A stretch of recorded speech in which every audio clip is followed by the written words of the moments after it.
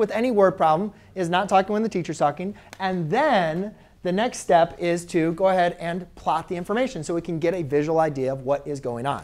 Um, so we have a boat traveling due south. So again, I kind of know we have a bearing here. OK? So I'm going to say boat, or B is for a boat, right? And that is at 40, traveling at 40 knots. Now again, knots is nautical miles per hour, right? Um, so it is a rate, but we don't know how far the boat has been going or like traveling, you know, so we don't have a distance, like a length. So we're going to use the 40 knots as our magnitude, okay, because we don't have any kind of direction. So that's going to be traveling at 40 knots, and that's going directly due south. Um, then we have a bearing of north 20 degrees west. So north 20 degrees west. So that's going to be bearing like this. And that is flowing at 10 knots.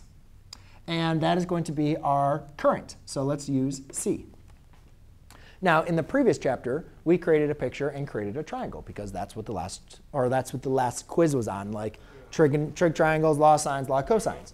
Well, here, guys, we have vectors, right? So we're not, we don't need to create a triangle, um, or at least, at least we could. It depends on the type of question. But in this case, we got to see what is our actual question asking us.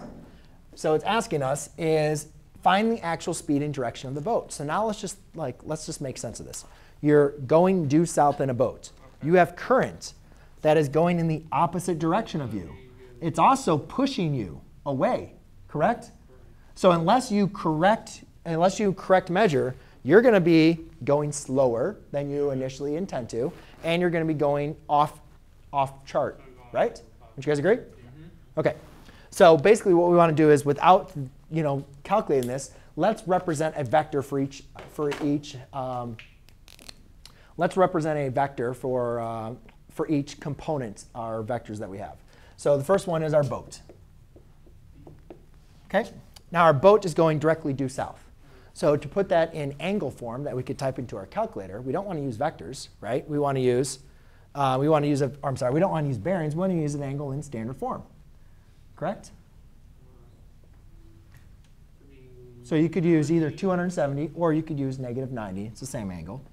And then what is the magnitude of that boat? 40. So I could write 40 times the cosine of negative 90 degrees, the sine of negative 90 degrees. Because that's how fast the boat is traveling. Okay, okay. And then let's go ahead and figure out the current. Well, the current is flowing at 10 knots. And now it's going at an angle of 20 bearings. Should I just do cosine of 20, sine of 20? Yeah. No. Got to follow standard form. Your, your calculator doesn't understand this as bearings. Your calculator understands this angle. Right? Close. 20 is from here to here. So you're doing 90 plus 20, which would be 110.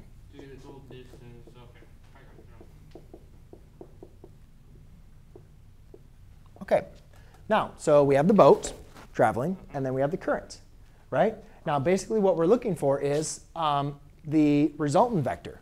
Like when they're asking what is the actual speed of the boat, this is where last class period comes into play. Remember that tail to head method that we were talking about? Like that's basically what we're looking for. Like here is the current. Just add the current to the boat. And what that gives us is this is what we're looking for. This is going to be your current plus the boat.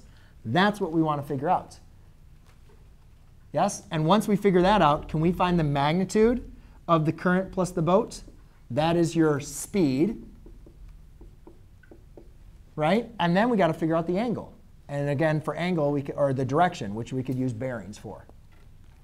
So to find the magnitude of c plus b, basically all we're going to do is combine these components.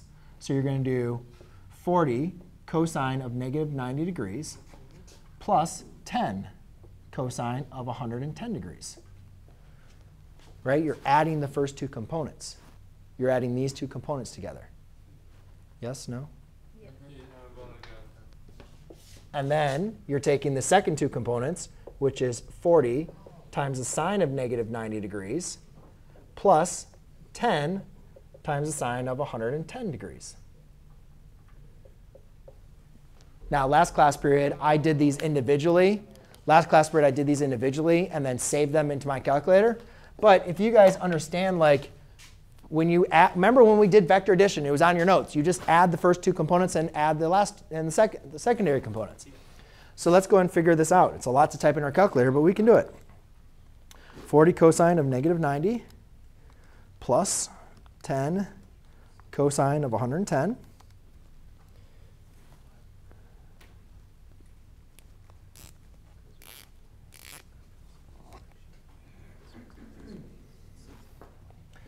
And that's giving me negative 3.42, which I'm going to store as alpha A.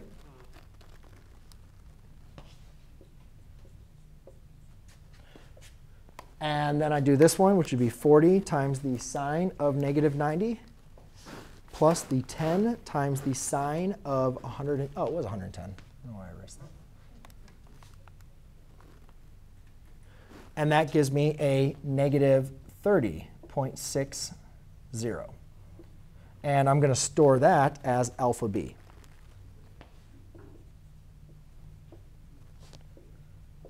Oh, I didn't get that. No? Negative point six So you just combine, just both, you both, you combine both of them together, to get A and B. Yeah, this is your component for A, and this is your component for B. Okay. Now, does my component kind of seem like to Negative forty-three. Yeah, that sounds right. Negative 43 what? For, for B, No, no, no, actually, Mr. Merkel isn't right. forty sine negative ten. Oh, I did ten cosine. Yeah, Mr. Merkel, that's right. Okay. Well, I'm not seeing any different. I mean, I'll just run with this, and then we figure out an issue. We'll, we'll go from there.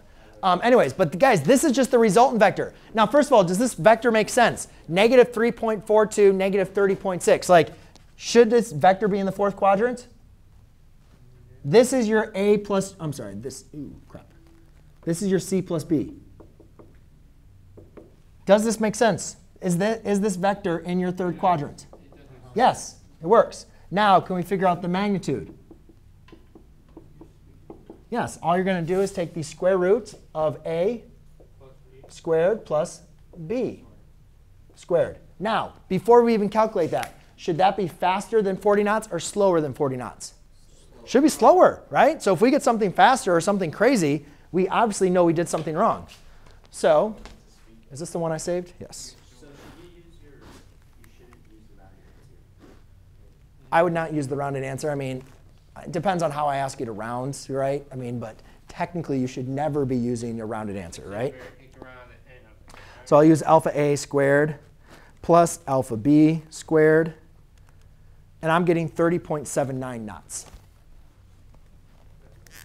And does that sound about right? Yeah, but Technically, slower. that's- Oh, it's like thirty-nine point seven. Right? And I didn't tell you how to round, so let's just I'll just round to the nearest hundredth. But I mean, does that make sense? You're traveling at 40 knots, but then you have wind flowing at 10, the other opposite direction. So 30.79 sounds about right, correct? Now let's go and figure out what the angle is. Can we figure out what this angle is? Yeah. Which one? Yeah. That angle. Yes. Well, let's just figure out the angle of the vector, right? So the angle of the vector is going to be tangent theta equals v2 over v1. Right?